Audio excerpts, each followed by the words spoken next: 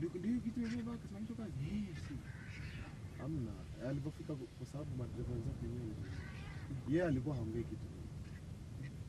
Mimi navyoletewa noma.